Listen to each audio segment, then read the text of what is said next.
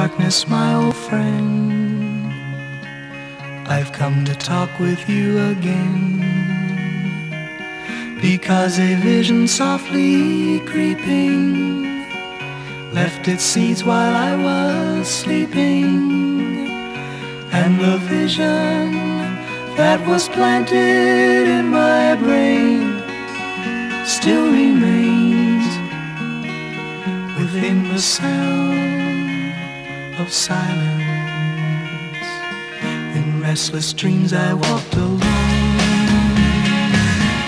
narrow streets of cobblestone, neath the halo of a street lamp. I turned my collar to the cold and damp. When my eyes were stabbed by the flash of a neon light that split the night and touched the sound of silence. And in the naked light I saw ten thousand people, maybe more.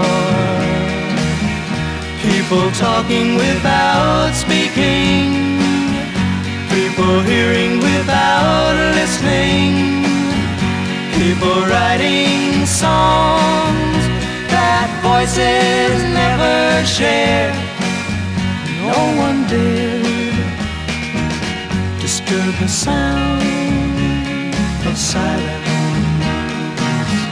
Fool said I, you do not know silence like a cancer grows.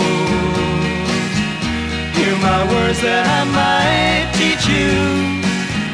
Take my arms that I might reach you. But my words, silent raindrops, fell.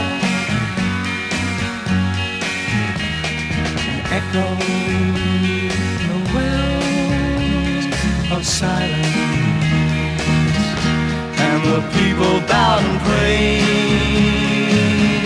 to the neon god they made.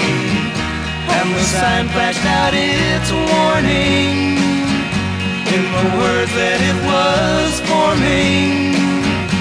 And the sign said the words of the prophets are written on the subway walls, the tenement halls, whispered sounds of silence.